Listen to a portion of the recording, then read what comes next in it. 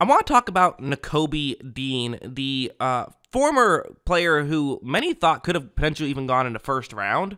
In fact, that was the consensus. It would have been a hotter take to say he should go in round two than he should go in round one. Now, again, he was 30th on the consensus big board, so that means that, you know, uh, fringe first rounder. But you see, I mean, the peak on that, uh, some mock draft even had him going as high as number six. Now, I don't know if that many people were doing that, but there were people who absolutely fell in love with Nakobe Dean. I heard some people say, you know, he was some people's linebacker number one in a draft class that ended up having several very good linebackers, several first rounders. Quay Walker, uh, Devin Lloyd were both first rounders. Uh, Leo Chenal had a very good rookie year. Now, it seemed like a big part of why he ended up falling in the first place was because of a couple injuries. He had a pectoral injury and a, a, knee injury. The knee injury, obviously, very scary, causes him to fall in the draft to some degree, uh, but it wasn't supposed to affect his playing time. However, if you look over at his PFF page, you see that his playing time was few and far between. The TOT, that stands for total snaps, uh, for at least total defensive snaps because he played about 400 uh, special team snaps. He was a special teamer, but uh, when he came in, he barely played. I mean, you look at a, a, lot of games that he did play in, he only had one snap. That was the majority of the games he played in. He was only getting one snap. Well, okay, actually, no, it isn't. It was five out of the 11. So the majority, he still played more than one snap. So, uh, uh, you know, a slight correction there. But the majority of his games, he played two or less snaps. How about that for you? Uh, you know, only really two games, the Tennessee game and the Giants game, he came in and had significant playing time. I do have to say, though, I went back and watched, uh, you know, when he was in there for those two games. It was kind of garbage time in both of those situations. He looked very good. Like this play, which is a very simple play. People are going to say, oh, this is too simple. Why even bring it up? Well, I like to bring it up. Uh, we'll get into some more, uh, you know, impressive plays in a second. But, you know, his job is to just cover the uh, halfback on this play. It's going to be man coverage. And as you see, he's going to do a good job of just getting over and getting in position. Again, nothing crazy, but this is what I saw him do is pretty consistently. I felt like he was getting himself in position to succeed, which is good to see. He wasn't getting fooled necessarily by the more advanced NFL tactics. Now, again, not necessarily going up against starters either, so it's maybe more preseason type tape than actual NFL season type tape. But he showed us some flashes, I thought. Something like this is a great example where what's supposed to happen is for the Titans is the left guard and left, or excuse me, right guard and right tackle are supposed to double team uh, an interior defensive lineman. One of them gets off that block and gets up to block Dean, but that's not going to work out too well. Watch how that gets clogged up right away. But this is where I think Dean's, uh, you know, good instincts can come into play right here. Where okay, there's a window for him to get through, but a lot of players I think would be a little bit more cautious. Dean is a very aggressive player, and when he's playing with a great defensive line, that could be a really dangerous combination. As you see, he rushes in and is able to make a quick tackle, and you know, again, that's a you know a, a highlight reel level play, really. So again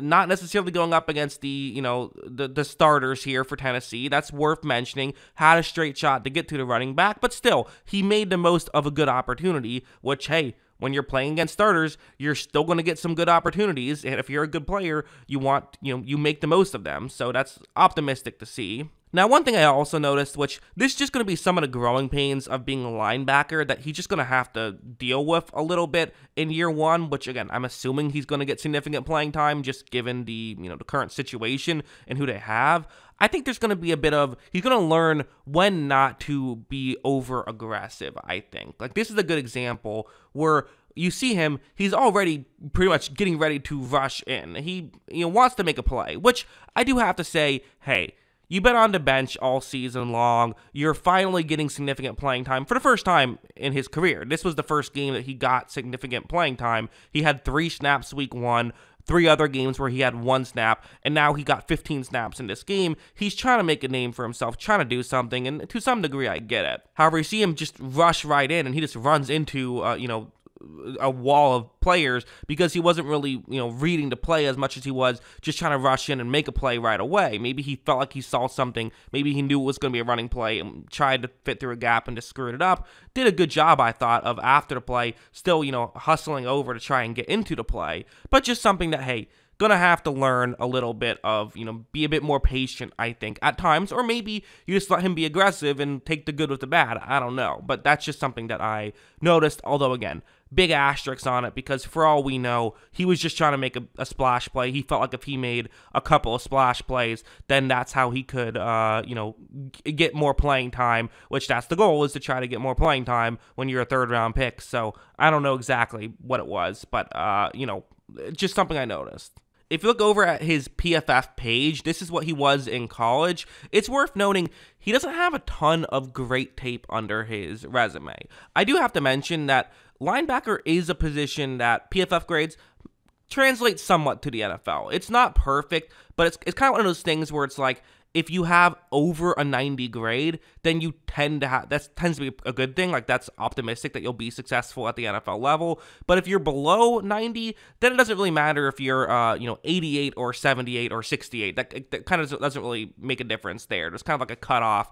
Uh, not to say you can't be good if you're below 90, just that like it doesn't really matter that much how much below 90 you are at that point. But anyway, he passed that test of having the above 90 grade, but then in uh, 2020 and in 2019, uh, he was not quite as good. So he really was just a one year wonder player, but still uh, did a lot of great stuff in coverage and pass rush. Run defense wasn't quite as dominant, but still a very good grade of 81.9. So the analytics uh, for his uh, you know college stuff were very optimistic. So at the end of the day, what would my, my expectations be for someone like Nakobe Dean? If like let's say he comes in and he is a legitimate, just like you know, he's a every down starter for the Philadelphia Eagles, which they very much might try to throw him into right away.